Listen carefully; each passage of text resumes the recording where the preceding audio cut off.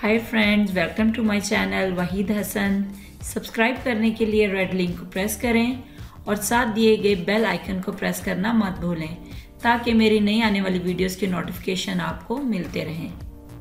बिस्मिल्लाहिर्रहमानिर्रहीम। अस्सलाम वालेकुम फ्रेंड्स कैसे हैं आप सब? जी फ्रेंड आज हम lesson number one two three करने जा रहे हैं।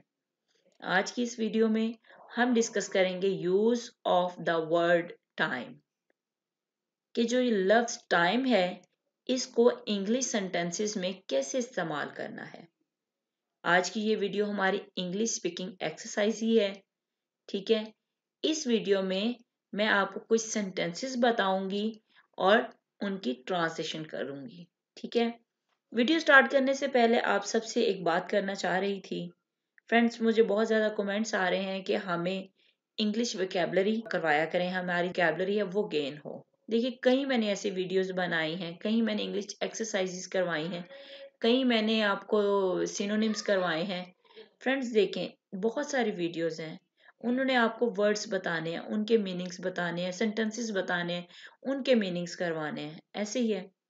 अब देखिए डिपेंड आप पे करता है कि आप उसको याद करो, उसको आप जुमलों में इस्तेमाल करो। इसी तरह आपकी वोकेबलरी गेन होगी। ठीक है? अब मेरे चैनल पे आप देखें, बहुत सारी इंग्लिश स्पीकिंग एक्सरसाइजेज हैं। इसके अलावा बहुत सारे सिनोनिम्स हैं। इसके अलावा मैंने आपको ब्रांचेस ऑफ़ नॉलेज करवाई टाइम से रिलेटेड आपको इतना कुछ बताया, फिर आपको रिलेशंस के बारे में बताया। ये इसी तरह थोड़ा थोड़ा नॉलेज जो है ना, आपको डिलीवर करती जा रही हूँ। अब आपने इन्हीं को आप रेगुलर देखो इन्हीं को आप याद करो। उसी विकेबलरी को आप इंग्लिश सेंटेंसेस में यूज़ करो। इसके अलावा ज़्यादा से ज़्यादा न्यूज़पेपर पढ़ो। इंग्लिश न्यूज़ सुनो बुक रीडिंग करो मैगजीन पढ़ो नॉवल पढ़ो, ठीक है? जो वर्ड नहीं आते उनको अंडरलाइन करके उनके मीनिंग डिक्शनरी में चेक करो। उनको इंटरनेट पे चेक करो। मेहनत तो आपने करनी है। हमारा काम है आपको बताना। आप आके याद करते जाओ, उसे अप्लाई करते जाओ। इस तरह आप बस मेहनत आप करें थोड़ा थोड़ा करके याद करते जाओ इनशाला आप बहुत कुछ गेन कर लोगे। आए वीडियो का स्टार्ट करते हैं। जी फ्रेंड्स सबसे पहला सेंटेंस है what is the time what is the time क्या वक्त हुआ है? ठीक है छोटे छोटे सेंटेंसेस हैं, कुछ बड़े हैं, लेकिन आपने क्या देखना है, इनके अंदर वर्ड्स कौन से हैं और ये जुमला कैसे बना हुआ है? वट इज़ द टाइम क्या वक्त हुआ है? नेक्स्ट है put your toys away put away होता है दूर रखना, परे रखना, ठीक है? पुट योर ट्वाइस अवे अपने खिलौने रख दो, परे रख दो, ठीक है? पुट योर ट्वाइस अवे अपने खिलौने रख दो। इट्स टाइम फॉर बेड ये सोने का वक्त है। It's time for bed is it not time क्या ये वक्त नहीं है? इज़ इट नॉट टाइम क्या ये वक्त नहीं है टू गो जाने का? क्या ये जाने का वक्त नहीं है? होम घर येट अभी। क्या ये घर जाने का अभी वक्त नहीं हुआ है? ठीक है? Is it not time to go home yet क्या अभी घर जाने का वक्त नहीं हुआ है? नेक्स्ट है when would be a good time कब एक अच्छा वक्त होगा फॉर मी मेरे लिए? टू कॉल यू तुम्हें कॉल करने का, या आपको कॉल करने का। आपको कॉल करने के लिए, मेरे लिए एक अच्छा वक्त या मुनासिब वक्त कौन सा होगा या कब होगा? ठीक है? When would be a good time for me to call you next है द रिपेयर्स मुरम्मत। वर फिनिश्ड मुरम्मत खत्म हो गई। ये पैसिव वॉइस का जुमला है, इसमें देखिए सब्जेक्ट नहीं है। मुरम्मत खत्म हो गई, ठीक है? Two weeks ahead of time वक्त से दो हफ़्ते पहले। अहेड ऑफ़ टाइम वक्त से दो हफ़्ते पहले। The repairs were finish two weeks ahead of time मुरम्मत का काम वक्त से दो हफ़्ते पहले खत्म हो गया, ठीक है? नेक्स्ट है वाई इज़ इट क्या वजह है? वाई इज़ इट क्या वजह है? दैट की। Irene never seen on time Irene कभी नहीं सीन दिखाई देती ऑन टाइम वक्त पर। ठीक है? वाई इज़ इट क्या वजह है? That Irene never seen on time कि आयरन कभी वक्त पर दिखाई नहीं देती। ठीक है? अब यहाँ पे जुमला देखें कि जुमला कैसे, अब देखें वाई इज़ इट क्या वजह है? फिर दैट लगा के दूसरा जुमला बना दिया। I do never seen on time ठीक है? नेक्स्ट है I don't have much time मेरे पास ज़्यादा वक्त नहीं होता। I don't have much time मेरे पास ज़्यादा वक्त नहीं होता।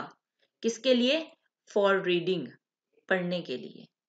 दीज डेज़ इन दिनों। ठीक है, या आजकल कह लो या इन दिनों। आजकल मेरे पास पढ़ने के लिए फॉर रीडिंग पढ़ने के लिए ज़्यादा वक्त नहीं होता। I don't have much time for reading these days ठीक है? नेक्स्ट है, मैं दस मिनट में वापस आ जाऊँगा।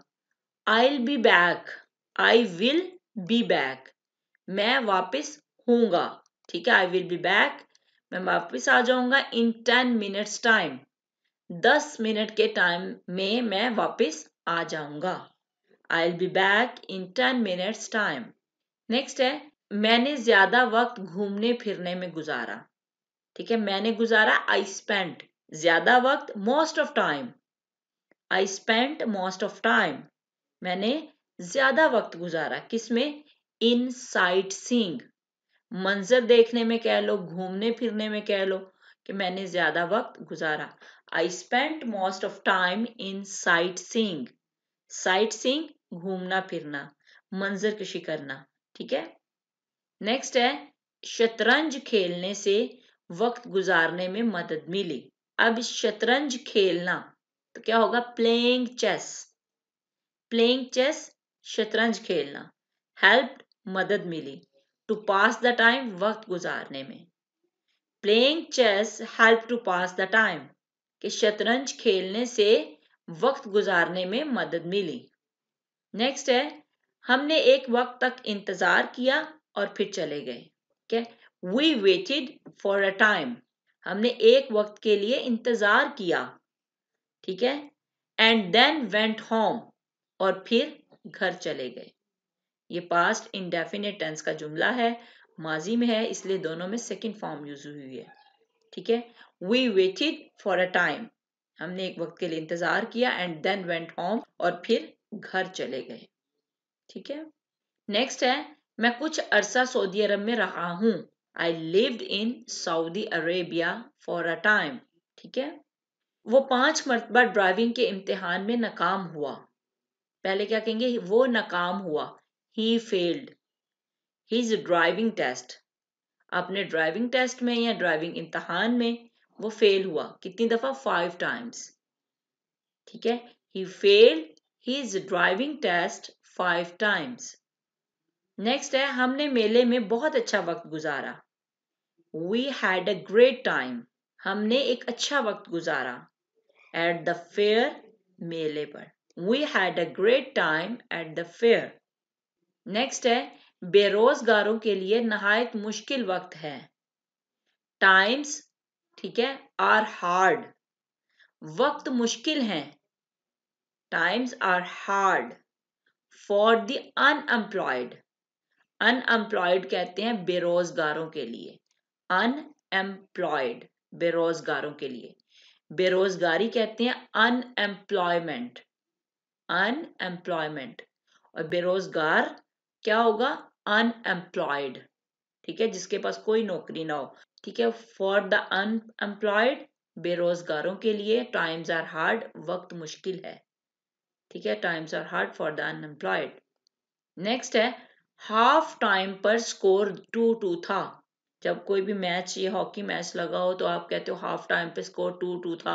सिक्स सिक्स था फाइव फोर था। तो आपने इसको इंग्लिश में कैसे बताना है? The score at the half time. Half time पर स्कोर was टू टू दो दो था। ठीक है?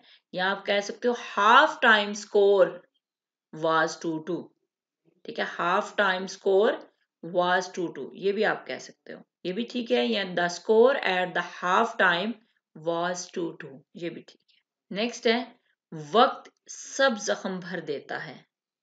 टाइम हील्स हील्स कहते हैं भर देना, ठीक है? जख्मों को भर देना हील्स ऑल वाउंड्स तमाम जख्म. Time heals all wounds wounds कहते हैं जख्मों को.